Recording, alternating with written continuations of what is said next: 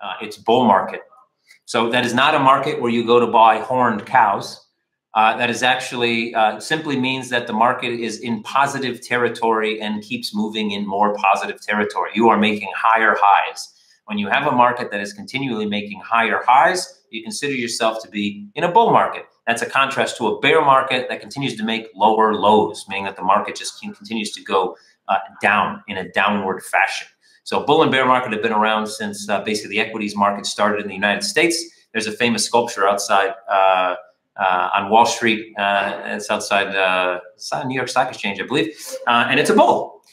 Because obviously all stock all stock market participants would hopefully rather be in a bull market. Well, at least at least all stocks would rather be in a bull market. Stock market participants could care less if it's bull or bear. You can make money on both sides. Uh, but that's essentially what a bull market is. So it just means that uh, prices are going higher and continue to make new highs.